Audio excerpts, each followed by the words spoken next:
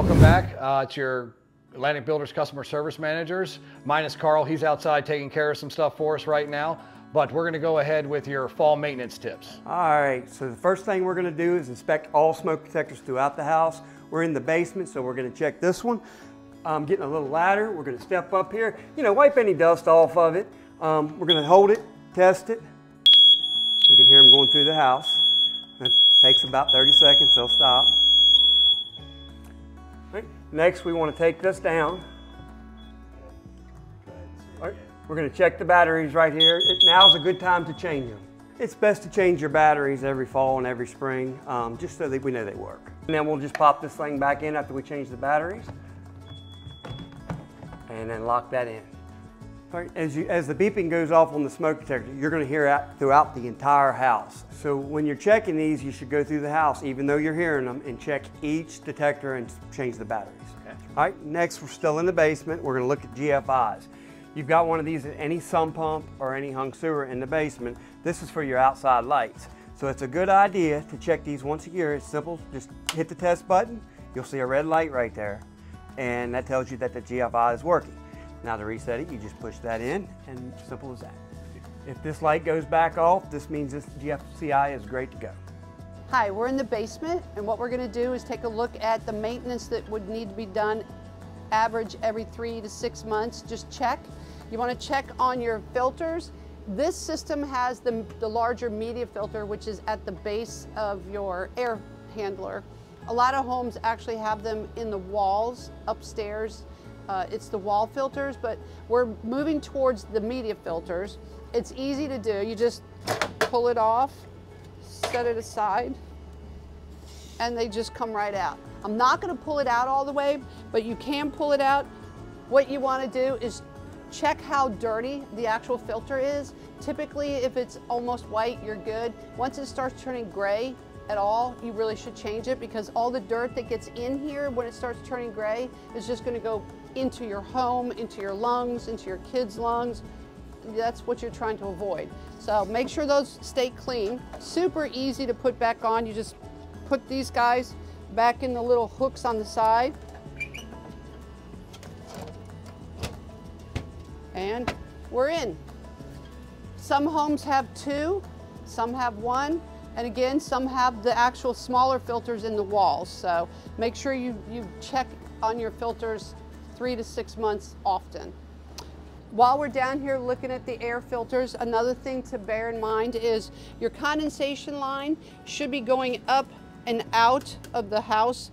But if you have water in the system, that's something you should take care of right away. So if your condensate is for some reason backing up into your pan, you're gonna need to make sure that gets taken out. Just get a shop vac, and suck it out and clean it up. That'll be easy enough to do if it happens. Uh, while we're still here by the HVAC, you also have dampers on the unit. This is a manual damper, which is right here. Some of our houses have electronic dampers. You need to do nothing with them. They automatically do it.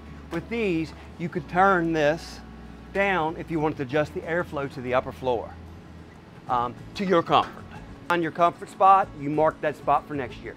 Right? Same thing while we're in this area, we're looking for a humidifier. This house does not have one, but if it did, it would be right here.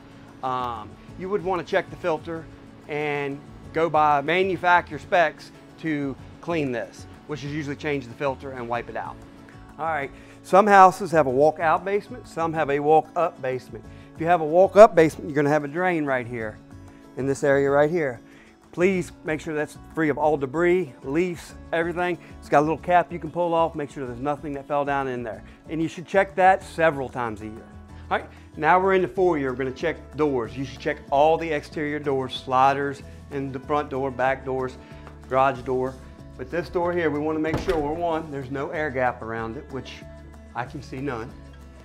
Two, we're going to open to make sure we got a good contact where the deadbolt works. Now we're going to open and we're going to look at the sealing around the door.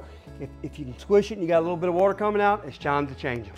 If you got any rips, tears from cats, dogs, anything, they should be replaced. If you do need to replace the weather stripping, you would simply pull it out, you can go to Home Depot or Lowe's and get new and it just slides right back in very easily. Now, Sometimes you do have to trim it. Most of the time you have to trim it with a pair of scissors or something. But you just go right back into place. Should have a little bit of drag on the door when you shut this. This paper should drag, and it does. You don't, if, if you had an air gap there, it would slide right in and out easily. The threshold here is adjustable.